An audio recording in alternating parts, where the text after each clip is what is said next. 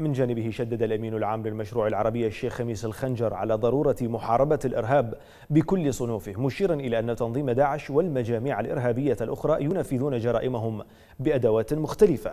وقال الشيخ الخنجر في تغريدة على تويتر إن مسؤولية حماية أو حماية أرواح العراقيين تقع على عاتق الجميع.